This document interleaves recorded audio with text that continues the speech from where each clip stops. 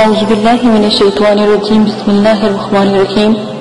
میرے پیارے بہنوں اور بھائی امید کرتی ہوں کہ آپ سب خیریت سے ہیں۔ دعا کرتی ہوں کہ اللہ پاک آپ کی تمام پریشانیوں کو ختم کر دے اور آپ کو پانچوں وقت کا نمازی بنا دے۔ میرے پیارے بہنوں اور بھائیوں، اپیل ہے کہ آپ لوگ پانچ وقت کے نمازی بن جاؤ، ورنہ وقت دور نہیں ہے۔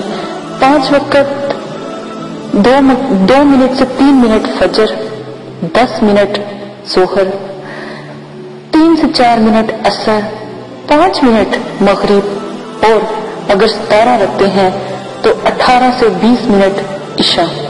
کیا اللہ پاک کے لیے یہ وقت، یہ تھوڑا سا وقت آدھا گھنٹہ، پونا گھنٹہ یا ایک گھنٹے میں اگر زیادہ اچھی نمازیں پڑھی جائے تو ایک گھنٹہ کیا سارے چوبیس گھنٹوں میں تیئیس گھنٹے آ کے ایک گھنٹہ کیا اللہ پاک کا نہیں ہو سکتا؟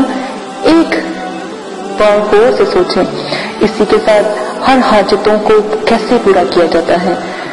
کچھ لوگ حسن بصر رحمت اللہ علیہ کے پاس آئے کسی نے کہا، پانی نہیں برس رہا۔ کسی نے شکایت کی اولاد نہیں ہو رہی۔ کسی نے شکایت کی کہ میرے ساتھ بیماری ایسی ہے، ختم ہی نہیں ہو رہی۔ کسی نے کہا، دعا قبول نہیں ہو رہی۔ اور کسی نے بہت سی حاجتوں کو پیش کیا۔ آپ نے سب کے جواب میں کہا، استغفر اللہ کیا کرو؟ ایک شخص نے پوچھا کہ آپ نے تمام لوگوں کے جوابوں میں صرف ایک بات کی کہ استغفر اللہ کہا کرو۔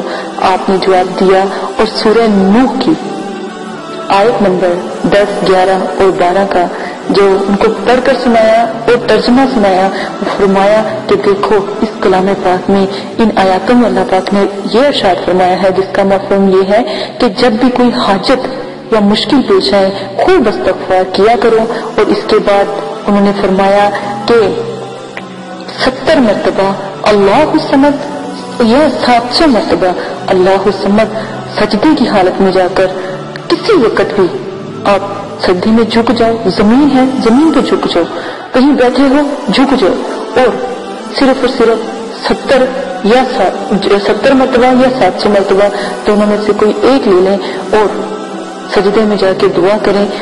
اللہ پاک کی عظمت کا اور رحمت کا تاج آپ کے سروں پر ہوگا۔ کون کہتا ہے حاجات پوری نہیں ہوتی؟ یہ عمل کر کے دیکھے تمام حاجات پوری ہو جائیں گی۔ انشاءاللہ اس بہن کو اجازت دیجیے گا، اپنا بہت زیادہ خیال رکھیے گا۔